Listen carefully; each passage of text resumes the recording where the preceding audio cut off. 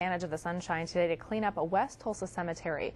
A PSO worker answered the mayor's call for mowing help. Tony Moore called coworkers and spread the word through a local radio station.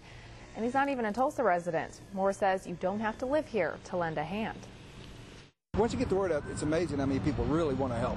I think the ones that you hear the most about are those who don't like what's going on. You don't hear about the ones who step up and, and serve. The volunteers have agreed to keep mowing Oak Lawn Cemetery every other week for the rest of the summer.